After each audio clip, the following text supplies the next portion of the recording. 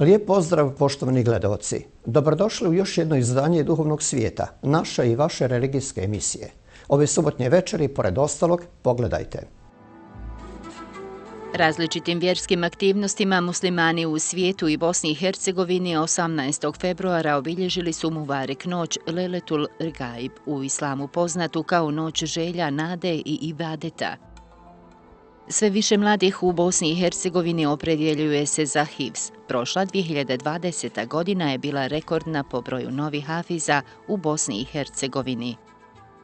Odbor za međureligijsku saradnju Bihać Međureligijskog vijeća Bosne i Hercegovine netom završenom aktivnošću Dialog jučer danas sutra razmijenio iskustva i mišljenja sa srednjoškolcima i studentima Bihaćkog univerziteta. Muslimani u svijetu kao i u Bosni i Hercegovini su u četvrtak 18. februara kroz različite vjerske aktivnosti obilježili Mubarek noć Lejletul Regaib, u islamu poznato kao noć želja, nade i badeta. O značaju ove odabrane noći u životu muslimana i islamskom svijetu uopće, za duhovni svijet govori Haris Efendija Velađić, rukovodilac službe za vjerske poslove Muftistva Bihaćkog. U četvrtak 18. februara u skladu s kalendarom Rijaseta Islamske zajednice u Bosni i Hercegovini s akšam namazom nastupila je prva u nizu Mubarek noći, Lejletul Regaj, bili poznata kao noć želja. Ova noć se obilježava u oči prvog petka u mjesecu Ređepu. Prije nekoliko dana mi smo ušli u sedmi mjesec sirijskog kalendara, mjesec Ređep, koji je specifičan po nekoliko stvari. Između ostalog, odlikuje se i po tome što se u njemu nalaze dvije odabrane Mubarek noći, Lejletul Regaib i Lejletul Mirač. Prva od ovih noći, Lejle Regaib, e, se obilježava noć prije prvog petka u mjesecu Ređepu i u njoj se muslimani prisjećaju čina začeća Allahov poslanika Muhammeda sallallahu ta'ala alaihi wa sallam. E, bitno je skrenuti pažnju da temeljni izvor Islama e, svojim sadržajem ne tretiraju ovaj događaj iz poslanikovog alaihi sallam života. Dakle, ne postoje niti kuranski ajeti, niti hadisa Allahov poslanika, alaihi salam, u kojima se govori o začeću Muhammeda sallallahu alaihi wa sallam. E, međutim, razlog zašto su ljudi uobičajili da e, obilježavaju ovaj događaj jeste prvenstveno e, što tim činom u stvari iskazuju svoju ljubav i svoje poštovanje prema najodabranijem Allahov poslaniku Muhammedu sallallahu ta'ala alaihi wasallam. Dakle, e, čin začeća je u stvari jedan događaj iz života poslanika alaihi salam, a sve ono što je vezano za život poslanika alaihi salam, bez obzira da li ti događaj prethodili objavi ili se dešavali nakon objave, e, važni su i muslimani i smatraju važnim i zbog toga poklanjuju pažnju obilježavanju ove odabrane Mubarek noći. Dova je posebno potrebna današnjem čovjeku koji u brzom i dinamičnom životu često izgubi orijentaciju i islamsku ravnotežu između duhovnog i materijalnog. Zato vjernici u ovoj noći mole Allaha Đelešanuhu da im primi tebu, pokajanje. Ali vjernici moraju znati da je ovo i noć kada i obične svakodnevne želje i nade mogu uputiti svome gospodaru Allahu Đelešanuhu koji dove želje i nade vjernika prima i ispunjava. Mi smo običajili u tradiciji dakle, bosansko-hercegovačkih muslimana je da ovu Mubarek noć kao i sve ostale Mubarek noći obilježavaju okupljanjem u našim džamijama gdje se organizuju različiti programi, različiti sadržaj od učenja Kur'ana, zajedničkog klanjanja namaza, učenja mevluda i tako dalje. Nažalost, zbog poznatih razloga vezano za pandemiju koronavirusa, E, ove godine nismo u prilici da organizujemo neke značajnije programe, neke značajnije sadržaje u našim džamijama, e, ali se dakle, to će biti uglavnom ove godine reducirano na zajedničko obavljanje akšama, odnosno jacije namaza u džamatu E, i eventualno nekih kraćih programa kojima će prisustovati reduciran broj naših džematlija. Umjesto toga, umjesto dakle ti zajedničkih sadržaja, zajedničkih programa, e, vjernici su upućeni da u krugu svojih porodica, dakle u porodičnom ambijentu, provedu ovu barek noć kroz klanjanje dobrovoljnih namaza, kroz učenje dova i naravno da je provedemo nad da ćemo u barek noći koje slijede u nastavku hiđarske godine, ako Bog da dočekati u puno boljem ambijentu i da ćemo biti u mogućnost da je obilježavamo onako kako smo to navikli prije pandemije. Dvije Mubarek noći u mjesecu Ređepu, Leletul Regaib i Leletul Mirač predstavljaju prve vjesnike muslimanima najdraže gosta Ramazana. Ibadet u ovim noćima predstavlja duhovnu pripremu za taj mjesec sveopćeg ibadeta. Sam posebno mjesec Ređep je jedan od četiri sveta mjeseca u hiđarskom kalendaru. E, on je, dakle, zajedno sa mjesecom Šabanom, e, koji slijedi nakon Ređepa, vjesnik Mubarak mjeseca Ramazana i na tu vezu između mjeseca Ređepa i mjeseca Ramazana ukazali su kako islamski učenjaci, tako i Allahu poslanik Muhammed sallallahu alaihi wa sallam. Naime, kada bi nastupio mjesec Ređep, Allahu poslanik alaihi salam je običajio i vrlo intenzivno i često je učio dovu u kojoj je gospodara molio da mu podari svoj blagoslov, odnosno bereket u mjesecu Ređepu i mjesecu Šabanu i da ga učini od onih koji će dočekati mu barek mjesec Ramazan. A islamski učenjaci motivirajući i posjećući vjernike da sa nastupanjem mjeseca Ređepa krenu sa detaljnim pripremama za doček mu barek mjeseca Ramazana, lijepo su kazali da je e, godina poput jednog stabla, poput drveta, E, mjesec Ređep je vrijeme kada to drvo lista i zeleni, mjesec Šaban koji slijedi je vrijeme kada to stablo počinje davati plodove, a mjesec Ramazan je vrijeme kada ti plodovi zriju i kada ih treba ubrati. Lejletul Regaib je i noć dova, želja i nade.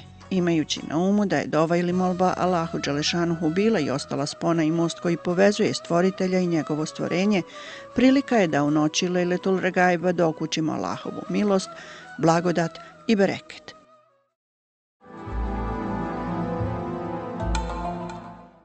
Ujedinjeni narodi su posebnom rezolucijom 4. februar proglasili Međunarodnim danom ljudskog bratstva. Toga dana 2019. godine Papa Franjo i veliki imam Al-Azhara Ahmad Al-Taib u Abu Dhabiju potpisali su dokument o ljudskom bratstvu, miru u svijetu i zajedničkom životu. Ovaj historijski dokument smatra se prekretnicom u odnosima kršćanstva i islama, a poziva sve ljude koji u srcu nose vjeru u Boga i vjeru u ljudsko bratstvo da se ujedine i zajedno rade. Predstavnici Katoličke crkve i islamske zajednice smatraju kako je dokument o ljudskom bratstvu veoma značajan i za bosansko-hercegovačko multietničko društvo, u kojem katolici i muslimani trebaju njegovati suživot i međureligijsko povjerenje. Ujedinjeni narodi dan potpisivanja dokumenta o ljudskom bratstvu u Abu Dhabiju 2019. godine prepoznaju i promoviraju posebnom rezolucijom na globalnom nivou i kao dan zalaganja za izgradnju kulture mira, tolerancije, uključivanja, međusobnog razumijevanja i solidarnosti. 4. februar 2019. datum je historijskog potpisivanja dokumenta o ljudskom bratstvu, miru u svijetu i zajedničkom životu u Abu Dhabiju, kojeg su potpisali Papa Franjo i veliki imam Al-Azhara Ahmad Al-Taib, što je prekretnica u odnosima kršćanstva i islama, a koji poziva sve ljude koji u srcu nose vjeru u Boga i vjeru u ljudsko bratstvo, da se ujedine i zajedno rade. Isteknuto je na početku da vjera upućuje vjernika da u drugom vidi brata i sestru koje treba podržati i voljeti. 2019. godine u Dubaju Eh, šehul šehu Ashar Ahmed Taib, eh, jedan veliki alim koji nosi tu počasnu titulu šehul Ashara ili prvaka univerziteta Azhar i Papa Franju su potpisali, slobodno to možemo nazvati kao eh, deklaraciju, koja je naravno starija svakako od njih obojce. Što se tiče samog šehu Lazhara, ja moram reći da on nije uradio ništa novo. Svaki imam kroz historiju pa i Mahalski efendija ili Hođa bi otprilike isto potpisao, isto kazao. Zašto? Zato što je to Muhammed A.S. 1400 eh, i više godina potpisao i to je možda prvi ugovor o ljudskim pravima. Naravno, radi se o Medinskoj povelji, gdje on dolasku u Medinu, eh, iako ima apsolutnu vlast ili, ajmo reći, većinsku vlast, garantuje i svojom čašću, i svojim životom, i svojom vjerom na kraju krajeva, a na kraju to se pokazalo i svojim životom, sva prava, sve slobode svima onima koji su muslimani i, oni, i onima koji to nisu. Generalna skupština Ujedinjenih naroda usvojila je rezoluciju, navodi se u izjavi, kako bi obnavljanjem suradnje i promicanjem odnosa između vjera i dijaloga kultura doprinijeli borbi protiv pandemije COVID-19 i rješavanju drugih globalnih izazova. Danas u vremenu svekolikih kriza, evo, vremenu vidimo pandemije e, koronavirusa, mi se susrećemo sa vrlo lakim optuživanjima i govorima mržnje prema drugima. Na primjer, kada je započela pandemija koronavirusa, svi su optuživali i moglo se primijetiti posebno u internet svijetu taj govor mržnje prema kinezima. Kao onima koji su uzročnici, ovaj, tog, kao onima koji su pustili taj virus prema nekom zapadnom svijetu. Međutim, e, vidimo kako vrijeme e, odmiče da nije to baš tako. Da, da je stvar puno kompliciranija, da je stvar puno, da je stvar puno, puno teža. Pa su onda počeli optuživati u Europi italijane koji se ne drže dovoljno dobro mjera i tako dalje. Dakle, ta neka potreba u vremenu krize da ljudi jedni druge na neki način optužuju, da, da ljudi jedni druge e, na neki način e, etiketiraju e, drugačije, zapravo je poticaj svima nama da, da preispitamo neke svoje unutarnje vrijednosti. I upravo ovaj dokument iz, iz, iz, iz Abu Dhabija koji su potpisali ovaj, Papa Franjo i veliki imam Eh, Ahmed Al-Taib, e, zapravo je poticaj svima nama da, da shvatimo, evo, mi na neki način iz kršćanske perspektive, ja, ja to mogu tako reći, da u drugome čovjeku, u svakome čovjeku prepoznamo sliku Božju, da prepoznamo lice Božje. I ako, ako,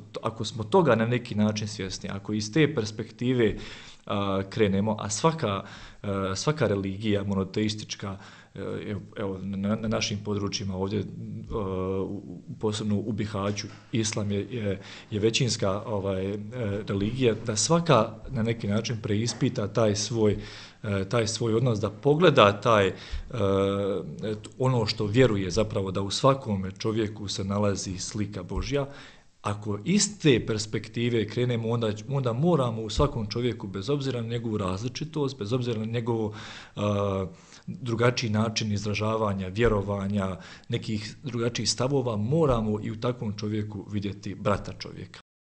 Ovom prilikom članovi Visokog odbora za ljudsko bratstvo, formiranog u augustu 2019. u domu Santa Marta, sastavljenog od vjerskih lidera, učenjaka i predstavnika kulture iz cijelog svijeta, kršćani, muslimani i židovi, nadahnuti dokumentom i posvećeni promicanju njegovih ideala mira i uzajemnog poštovanja, izražavaju zahvalnost i poštovanje prestolonasljedniku Abu Dabija, šejku Mohamedu bin Zaedu, na podršci koju su dali odboru, kao i Ujedinjenim Arabskim Emiratima za predanost da se ovo bratstvo promovira na nivou cijelog čovječanstva. Sam čin potpisivanja u Dubaju od strane šehu Lazhara nije ništa novo. Iako ćemo pohvaliti e, čin pape Franje, koji je ipak tim svojim potpisom e, pokazao jednu dobru volju da, opet kažem, to je sve deklarativne naravi. Svi mi znamo da, da su ljudi braća, da bi tako trebalo biti.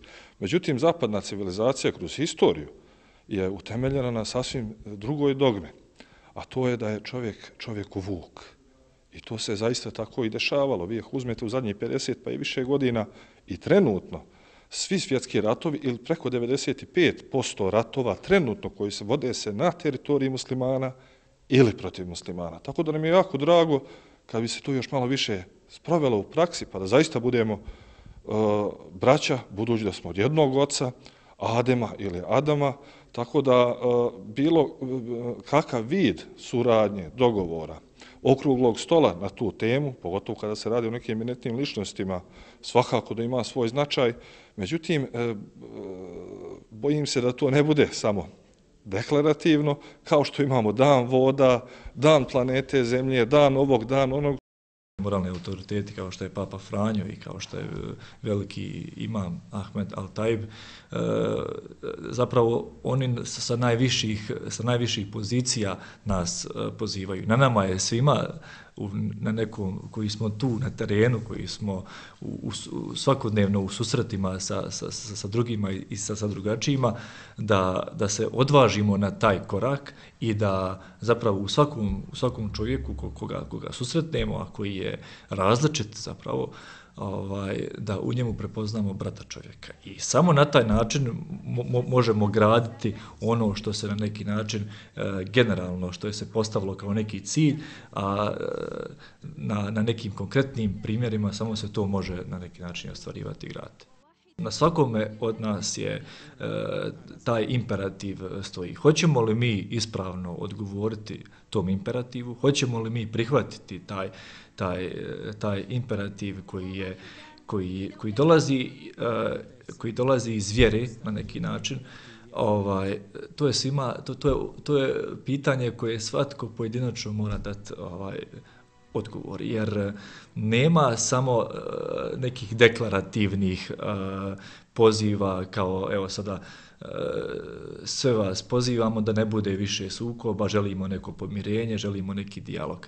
Ako mi svatko od nas pojedinačno svojim načinom života, svojim načinom života ne bude svjedočio bratstvo i međureligijski dijalog, odnose prema, prema drugima, E, to je već na neki način e, sjeme za početak nekih drugih sukova. Dakle, moramo, e, moramo se izići iz deklarativnog nekog ponavljanja i pomirenja i bratstva i napraviti taj jedan korak više, Eh, ući zapravo u istinski susret s drugim čovjekom, upoznati drugoga čovjeka, zavoljeti tog drugog čovjeka, samo tako možemo spriječiti ovaj, i budući na neki način sukobe i e, e, ratove koji ne daj Bože da, da, da bi se događali.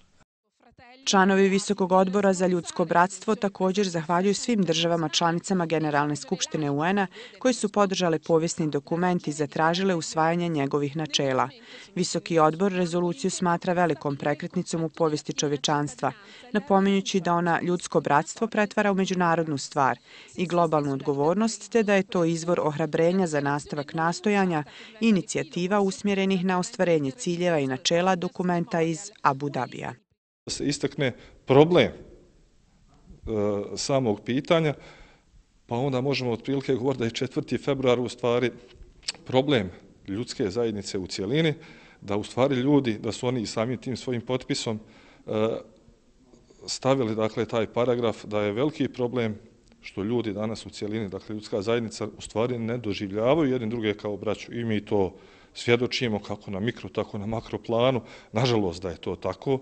Ali evo, kao što sam rekao, ne samo za islamsku zajednicu, za svakog normalnog čovjeka, bilo kakva inicijativa, e, što veći ljudi, što obrazovaniji ljudi, što priznatiji ljudi e, stave svoj glas ili stanu na tu stranu, svakako je nadat se da će se to, pa makar i u malim procentima, realizirati na terenu, pa da će zaista ljudi biti braće.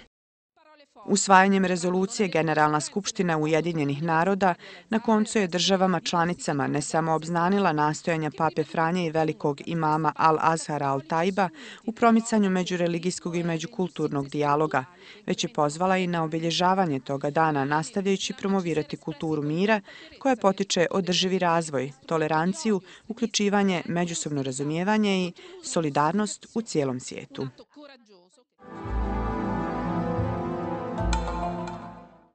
Muslimanima je obaveza kako pojedincima, tako i skupinama da se vrate Allahovoj knjizi, da se vrate tom čistom izvoru čije su tajne, poruke i pouke nepresušne.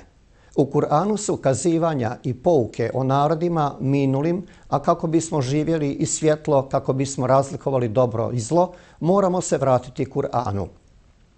Upravo te činjenice razlog su što se sve više mladih ljudi u Bosni i Hercegovini opredjeljuje za hifz, Pokazuju to i statistike, a prošla 2020. godina bila je rekordna po broju novih hafiza u Bosni i Hercegovini. أعوذ بالله من الشيطان الرجيم بسم الله الرحمن الرحيم وإن كادوا ليستفزونك من الأرض ليخرجوك منها وإذا لا يلبثون خلافك إلا قليلا سنة من قد أرسلنا قبلك من رسلنا ولا تجد لسنتنا تحويلا أقم الصلاة لدلوك الشمس إلى غسق الليل وقرآن الفجر إن قرآن الفجر كان مشهودا. ومن الليل فتهجد به نافلة لك عسى أن يبعثك ربك مقاما محمودا. Najveća blagodat koju nam je uzvišeni Allah darovao kako za muslimane, tako i za nemuslimane jesu knjige i objave, a od svih posebno Kur'an i Kerim zbog toga što je on pečet svih prijašnjih objava i zbog toga što ga je uzvišeni Allah učinio dokazom protiv neposlušnika na zemlji. Kur'an je nešto najveće s čim je došao poslanik sallallahu alaihi veselem, pa je zbog toga Kur'an glavna i stalna muđiza posljednjeg poslanika Muhameda sallallahu alaihi veselem. Kur'an ne može ograničiti ni prostor ni vrijeme. Kur'an je znak i blagodat, a jedno od najboljih dijela i postupaka kojima se čovjek može približiti uzvišenom Bogu jeste da se Kur'an časni nauči na pamet. To je počelo možda u osmom, devetom razredu osnovne škole, kada su ovdje na Hođaluku Brekoviću došli Hafiza Hidajeta i Muris Mahalbašić. I kod njih sam i naučila učiti u Kur'anu i eto, uzvišeni Allah je preko njih usadio ljubav prema Kur'anu u moje srce. I kad je Hafiza spomenula da bi napravila sekciju Hifsa, ja sam odmah rekla sebi, ja želim biti Hafiza, ja želim staviti mahramu. Tako da, eto, od tad to počinje. Bosna i Hercegovina je zemlja koja već stoljećima baštini islamsku vjeru, kulturu i tradiciju, u okviru koje posebno mjesto zauzima pamćenje, čuvanje, izučavanje i prenošenje Kur'ana časnog. Danas u našoj zemlji imamo 500 hafiza koji su na sebe preuzeli ovaj veliki emanet čuvanja Božije riječi. Broj hafiza, prije svega moram kazati, na nivou Bosne i Hercegovine je sad preko 500.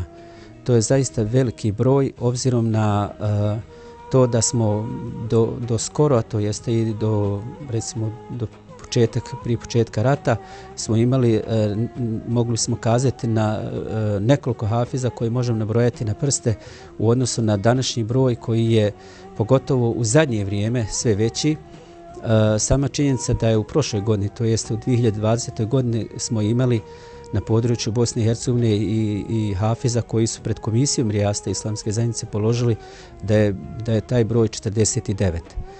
E, ono što možemo kazati kad je, kad je u pitanju Unsko-Savski kanton, odnosno Biječko muftijstvo, da već sad imamo preko 30 hafiza, to je, to je broj kojim se u prošlom vremenu um, e, Bosna i Hercegovina u cijelini mogla biti zadovoljna obzirom da institucija Hivsa i pamćenje Kur'ana u tom vremenu je bilo na niskom nivou. Rad islamske zajednice u odnosu na izučavanje Hifsa vidljiv je u više segmenata. Prije svega s učenjem i izučavanjem Kur'ana počinje se u samom Mektebu gdje se djeca uče da vole Kur'an i da se s njim druže. U Bosni i Hercegovini danas imamo nešto oko 1900 Mekteba, E, to su za većinu e, sadašnjih hafiza, to su bili prvi početci. Naravno, Mualim koji je podučavao arapskom pismu u učenju Kur'ana, ali e, svakako moramo kazati da tu ima i e, uloga naravno medresa u Bosni i Hercegovini e, na nivou Rijasta islamske zajednice nije osam i četiri visokoobrazovne ustanove, odnosno fakulteta na nivou islamske zajednice. Dakle, na, na nivou Bosne i Hercegovine. E, sve to utjecalo eh, da ovaj broj hafiza kroz ove različite institucije, kroz različita djelovanja da imamo u ovome broju koji, da, koji danas imamo. Ali prije svega moramo kazati da je tu i lični angažman mnogih od ovih e, hafiza koji su položili HIFS. Jer evo možemo kazati za prošlu godinu koja je bila godina, poznata godina pandemije, ali da je broj hafiza, njihov lični angažman, a naravno i današnja E, sredstva koje omogućuju da se hafize preslušaju na različite načine. Dakle, ove platforme kojim e, hafiz ne mora uvijek biti sad prisutan sa hafizom, nego mo, postoji mogućnost da ga preslušava i online. Pri većini muftistava u islamskoj zajednici u Bosni i Hercegovini postoje škole Kur'ana u kojima se omogućava svim zainteresiranim da izučavaju i uče hifz, te da se njihov napredak prati i prislušava. Tamo gdje takve škole ne postoje, tendencija je da se uskoro oforme. Na nivou cijele islamske zajednice u Bosni i Hercegovini postoji komisija za polaganje HIVSA koja broji osam članova. Nakon dugogodišnjeg spremanja, kandidati koji žele steći titulu Hafiza Kur'ana čast časnog dolaze u Sarajevu i ostaju tu nekoliko sedmica, te u dijelovima uče Kur'an na pamet pred navedenom komisijom, nakon čega stiču titulu Hafiza, a Hafiza prema podacima sve je više. To nas posebno raduje obzirom da znamo da je sigurno, e, mogli bismo kazati, možda teže e, se odlučiti za jednu djevojku, za jednu ženu da krene putem učenja Hifsa, obzirom da e, prije svega njeno učenje ili nek, e, njen e, e, angažman u javnom životu je, e, kad je u pitanju Hifs, sveden ili učenje Kur'ana na minimum. E, muškarci su imami, muškarci uče u različitim povodima, e, dok djevojke, odnosno žene, one uglavnom u krugovima, u halkama e, hifsa Kur'ana, E, sa ženama, sa drugim djevojkama i manje i više njihov angažman e, nije e, prisutan kao angažman muškaraca. Ali vidjeli smo dakle, i po broju od prošle godine da je taj broj u blizini sa brojem muškaraca koji uče HIVS. Što znači da kako je Allah Đelešanuhu dao da u svojoj inteligenciji, svojoj e, prirodi, svojoj moći, dakle žena ništa ne zaostaje iza muškarca, čak što, čak što više vidimo u zadnjem vremenu da su one uspješnije i e, marljivije u, u samom učenju Hivsa. Više od četiri godine sam učila Kur'an na pamet da bi mogla izaći pred komisiju za Hivs. I vjerujte, ono pred kraj, kad je već došla ta neka zadnja pripremanja, stalno bi se postavljalo neke termine, sad ću završiti, pa sad ću, da u stvari nije pojenta u tome, nikad ne stignem na taj termin. I onda se uvijek sjetim savjeta svog muhafiza, Hafiza Mehmeda, kada mi kaže kad učiš stranicu, misli samo na toj stranici, nemoj sebi zadavati neke kasnije termine i to jeste tako da cijelim svojim bićem posvjetim se toj stranici da je dobro naučim. Što je na kraju krajeva i lekcija za život, jel da živimo u momentu, jer život je sad od momenta. Ako ćemo mi jedva čekati neki termin, život je ono što prolazi. Isto tako i Kur'an. 2020. godina za sada je rekordna godina po broju novih hafiza. Dakle, u 2020. pred komisijom Rijaseta Islamske zajednice u Bosni i Hercegovini HIFZ je položilo 49 hafiza, 28 muških i 21 ženska osoba. Današnje stanje i situacija u pogledu Hifza i Kirajta u Bosni i Hercegovini veoma je dobra, ne samo u kvalitetu učenja, već i u većem broju kandidata koji uče i onih koji stignu do samog hafizskog ispita. Da bi se nastavio ovakav trend, Islamska zajednica u Bosni i Hercegovini redovno svake godine radi na popularizaciji ove aktivnosti kroz nekoliko segmenata. Moram prije svega kazati da Rijast Islamske zajednice u Bosni i Hercegovini zaista ima jedan e, kvalitetan sistem kada je u pitanju učenje Hivsa. Prije svega tu je podrška kada je u pitanju Muhafiz, mentor koji preslušava Hafiza, to je, to je ta podrška koja u stvari je neizostavna i svaki hafiz mora imati svoga muhafiza. S druge strane, Rijast islamske zajednice obezbjeđuje kada je u pitanju i polaganje e, hivsa pred komisijom Rijasta islamske zajednice, obezbjeđuje svakom kandidatu komisiju, obezbjeđuje boravak, a zatim obezbjeđuje i e, e, naravno hafizsku dovu ili sam čin proglašenja hafiza, a i u drugim e, segmentima kroz različite stipendije koje islamska zajednica obezbjeđuje i određene fondacije koje se bave s ovim, e, koje obezbjeđuju hafizima, e, odnosno onima koji uče HIFS. Pa tako imamo, na primjer, da medrese oslobađaju učenike koji uče HIFS, oslobađaju plaćanje doma, Ehm, fakulteti oslobađaju od plaćanje eh, participacije u školovanju, odnosno u studiranju. Na kraju krajeva čak se eh, i neki, eh, neke fondacije hafizima koji su položili HIFS, oni omogućuju besplatno školovanje na različitim univerzitetima. Jedno od najvažnijih i najistaknutijih vrijednosti memorizacije Kur'ana časnog s kojim se može odlikovati onaj ko uči Božiju knjigu ili je memoriše, ta što on postaje Allahov miljenik na ovom i budućem svijetu. Druženje s Kur'anom je ovo svjetska, ali i ahiretska privilegija. Prije svega imamo različitih kandidata iz različitih porodica. Ja bih rekao, posjetio na jedan hadis Allahov poslanika gdje on kaže La je zalu lillahi fi haze dini garsen. Allah će uvijek dati da u ovome dinu, u ovoj vjeri ima jedna sadnica koju će on koristiti u obožavanju uzvišenog gospodara. E, gdje, gdje će ta sadnica, odnosno gdje će to, e, ta, to sjeme koje će biti zasijano i gdje će se desiti da u kojoj porodici će dijete e, zavoljeti Kur'an. E, nema tu određene formule. Uglavnom, eh, Allah Đelešanuhu eh, i kad se najmanje očekujemo od neke djece, neka djeca krenu tim, tim putem. Imamo eh, hafiza i, i kandidata koji dolaze iz sasvim prosječne porodice. Imamo opet i porodica koje bi bilo očekivano da iz tih porodice bude hafiz, ali Allah Đelšanuhu izabere ili bira između svojih robova one koji će čuvati njegovu knjigu. Druženje s Kur'anom je ovo svjetska, ali i ahiretska privilegija. Kur'an će biti zagovornik šefadžija na sudnjem danu svima koji ga budu učili. Hafiz Kur'ana ima prioritet u predvođenju namaza ljudima, a nagradu imaju i njihovi roditelji.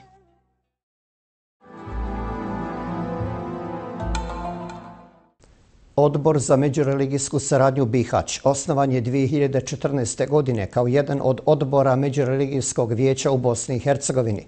Članovi odbora su predstavnici Islamske zajednice, Katoličke i Srpske pravoslavne crkve, a aktivisti su pripadnici ovih vjerskih zajednica. Iako odbor zadnjih godina i nema aktivnosti, situacija bi se uskoro trebala promijeniti.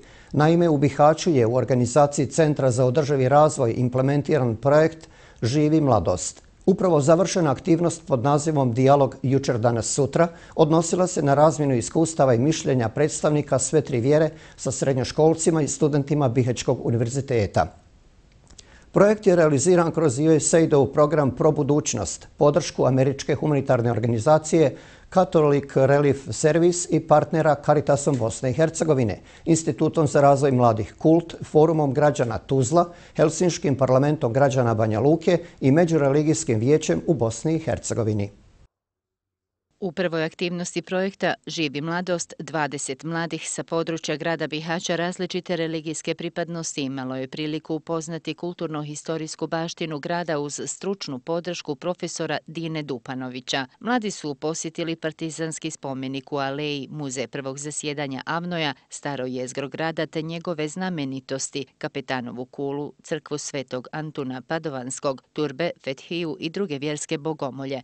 Također upriličena je posjetila posjeta memorialnom stratištu Garavice te održan historijski sad. U sklopu ove aktivnosti mladi su imali mogućnost učestvovati u sportsko-rekreativnom druženju, odnosno raftingu rijekom Unom. Kroz drugu aktivnost, 56 srednjoškolaca iz pet srednjih škola učestvovalo je na sedam radionica o temi kultura sjećanja i izgradnja mira. Kroz realizaciju filma Muškarci ne plaču, srednjoškolci su razgovarali i o stereotipima te predrasudama koji dovode do komplikata. Završna aktivnost projekta izazvala je najviše pažnje među mladima jer su imali priliku direktno učestvovati u diskusiji s predstavnicima vjerskih zajednica na području grada Bihaća. Ponosan sam zato što upravo mladi ljudi e, nisu imali mogućnost komunikacije u prethodnom periodu sa više članova tih jeli, e, konfesija, danas jesu imali mogućnost, pa čak ni sami religijski predstavnici u protoklom periodu nisu se sastajali, ali evo danas imali su mogućnost i ono što je meni jako drago, mogli ste čuti zapravo da su oni običali određenu suradnju, da su običali određene aktivnosti i ono što mi je još draže da će oni vrlo vjerovatno te aktivnosti raditi sa mladim e, ljudima. Hvala mladim ljudima, hvala religijskim medijskim predstavnicima, hvala svima onima koji zapravo učestvuju u ovakvim pričama, jer daju do znanja nama da ćemo mi biti na neki način nosioci društva u narodnom periodu, ali da ćemo graditi naš grad Bihać u što boljem svjetlu. Cilj projekta upravo i jeste otvorena međusobna komunikacija mladih i vjerskih predstavnika u Bihaću, a radionicom su posebno zadovoljni njeni učesnici. Upoznali smo se dosta i sa drugim religijama i mislim da ćemo imati dalju mogućnost uh, također za to, jer um, nekako u, među mladima je dosta prisutne i predrasude i osude što se tiče religije i nisu zap, ne svetaju ni sami ni svoju religiju kako treba. I mislim da um, sve ovo što smo danas odradili, samo ovaj projekat, da se može pomoći srednjoškolcima i studentima u nekim novim spoznajama i u nekim novim aktivnostima koje će dosta unaprijediti njih kao osobe i pomoći pomoći im u budućnosti. Ovakve radionice svakako treba da se, da se rade, pogotovo zbog toga što svi znamo što se dešavalo prije 25 godina agresija na Bosnu i Hercegovinu, rat, a ovo su zapravo radionice koje pomažu pri tome da krenemo naprijed, da jednostavno razumijemo jedne druge na bolji način i da shvatimo da je sve to zapravo naše bogatstvo, a ne, a ne mana.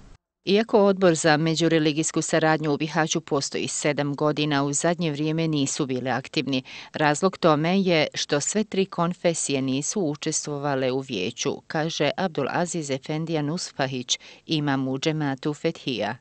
Međureligijsko vijeće, kao što znate, e, funkcioniše e, da u njemu mora biti predstavnik znači, islamske zajednice, Srpske pravoslavne crkve i katoličke crkve. E, mi, nažalost, zbog tehničkih razloga, znači neimenovanja određenog perioda paroha u Srpskoj pravoslavnoj crkvi i, i, i isto tako u katoličkoj crkvi, jednostavno nije bilo ovaj tih ljudi tu, nismo, nismo bilo u mogućnosti da funkcionišemo na pravi način. Mi smo vodili određene aktivnosti, međutim te aktivnosti ovaj e, ni, ne mogu da budu pravovaljane dok, dok e, predstavnici sve tri konfesije nisu, nisu u tom međureligijskom vijeću. Nadam se da će se to uskoro ovaj stabilizirati. Imamo već neke pozitivne ovaj korake prema tome, tako da se nadamo da će se to vratiti u ono nekadašnje prije vrijeme kada su se i uh, realizirali određeni projekti ovaj sa sve tri konfesije u tom pogledu. Za mene je ovo zaista jedno veliko i divno iskustvo, jer ja sam ovdje e, novi sveštenik, novi paroh Bihački i nisam imao iskustva prije da se susrećem sa, e, na ovakav način sa mladim ljudima druge konfesije. Za mene je to opet, kažem, jedno veliko iskustvo gdje sam i ja kao predstavnik vjerske zajednice od mladih nešto naučio i čuo neka pitanja na koje sam mogao da e, dam odgovor. Nadam se toliko kvalitetan da će e, nekada u životu, e, da će se toga isjetiti i zaista bih volio da se nastave ovakve radionice i ovakva druženja i viđanja e, i mladih i starijih i nas predstavnika vjerskih zajednica ovdje u gradu Bihaću. Bihać je od uvijek bio i ostao grad mira, ljubavi i tolerancije. Dobrodošli su svi bez obzira na vjeru, naciju, boju kože i pripadnost poručeno je sa završne aktivnosti projekta Živi mladost.